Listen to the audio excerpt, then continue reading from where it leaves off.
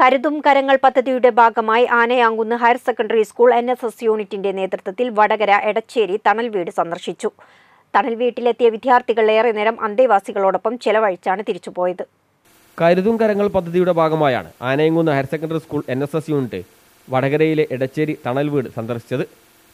മുന്നൂറോളം അന്തേവാസികളുള്ള തണൽ വീടിന് രണ്ട് വീൽ ചെയറുകളും കൈമാറി. എടച്ചേരി തണൽ വീട് കമ്മിറ്റി പ്രസിഡന്റ് മൂസ കുറിഞ്ഞോട്ട് ഏറ്റുവാങ്ങി. അന്തേവാസികൾക്കായി പാട്ടുപാടിയും കഥകൾ പറഞ്ഞും അവർക്ക് പറയാനുള്ളത് കേട്ടും മാനസികമായി അവരെ ചേർത്ത് പിടിച്ച എൻ എസ് എസ് വിദ്യാർത്ഥികൾ ഏറെ നേരം അവരോടൊപ്പം ചെലവഴിച്ചാണ് തിരിച്ചു പോകുന്നത്. Shaji Adassery N S S leader Waris Abdulla programme officer K V Naseera തുടങ്ങിയവർ സംബന്ധിച്ചു. News bureau Mukkam.